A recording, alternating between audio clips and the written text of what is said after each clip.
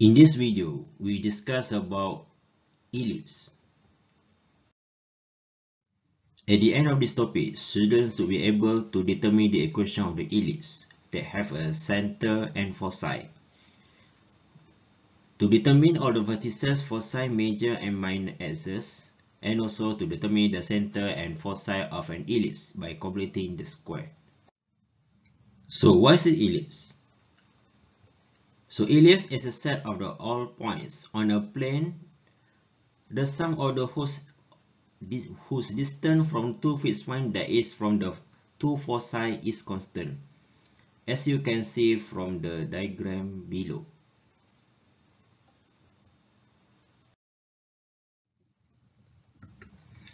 So ellipse can be categorized into two major categories.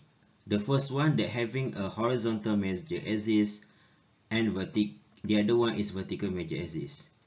So in general, so this is the standard form equation of ellipse. So x minus h squared y minus k squared which is quite similar to circle. So the difference is below that we have over a squared uh, below x and also b squared below y and on the right hand side it is equals to 1 unlike circle which is on the right hand side will be the radius. So how do you state distinguish between horizontal and vertical major axis? So for horizontal major axis the value of a is greater than b. So if you notice that a is greater than b so it should be horizontal major axis. On the other hand, if the value of B is greater than A, so it should indicate that this one is having a vertical major axis. So, so let's take a look about horizontal major axis. So the major axis is on the blue dotted line here. So this major horizontal major axis is parallel to the x-axis. So here it is uh, a minor axis. And then in the middle it will be a center having a coordinate HK. And we have two foci here. There is the value of K is same and the difference is they having plus minus C. So C is actually the distance between center and the foci and also they have a vertices on major axis. So on vertices on major axis it is h plus minus a. So this one is plus a and the left one is minus a. So h is the distance actually the distance between center to the vertices on the major axis that is uh, horizontal so on the other hand, we also have two minor vertices. So for minor vertices, since it is in the direction of y, so the value of x is remain that is h. So the difference is plus minus b is at k. That is value of y. So that's for minor axis. On the other hand, for vertical major axis, so the major axis, the blue line is parallel to the y-axis. So the perpendicular one will be the minor axis. So also in the middle, it will be a center and also the foci. So notice that since the changing here is in at y, so plus minus c now at k and not at h. The same also for vertical, the vertices on major axis. So plus minus b as at k. So plus minus b because vertical is parallel to the y. So the change is at y. So in other hand for minor axis, so plus minus is at h. Okay, because a is always associated with h that is x. So take note here. An ellipse is symmetrical with respect to the axis that is major axis. So it has one, cent one center in the middle. It has two foci that is we call foci. It also has four vertices, two vertices on major and two the other two in the minor, minor axis.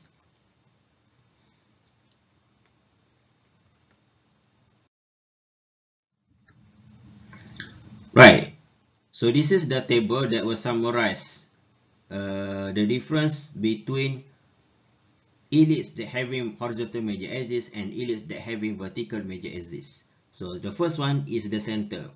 So actually the center is similar for both horizontal and vertical major axis. That is the coordinate of center is HK. For the foci, as I said before, we are using the parameter C that is the distance between center and focus. So for horizontal major axis, the plus minus C at H, where for vertical major axis, plus minus C at K. And also for vertic vertices, so we have two vertices on major axis and two vertices on minor axis. So for vertices on minor axis, minor axis, since horizontal, the changing here at x, uh, the horizontal is x, so the the plus minus a also at h. And then for minor axis, so plus minus b is at k. And for vertical major axis. so vertical actually at k, at y. So plus minus b with k and plus minus a with h. So plus minus k with b and plus minus a with h is same for uh, both horizontal and vertical major axis. So the difference is how we interpret the major and minor only. So for horizontal, the major is at x and for vertical, the major is at y.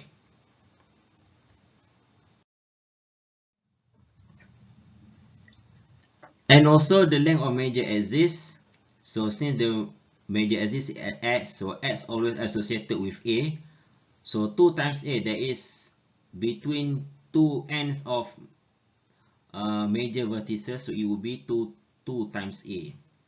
And also for vertical major axis, so it's direction of y. So we will use, we use b. So for both distance from both end of uh, major vertices so it will be 2 times b.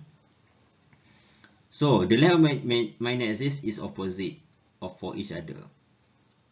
So since uh, major is 2a, so minor will be 2b. So same also for vertical, since the major is 2b, so the minor will be 2a. Okay, there are also tips below here.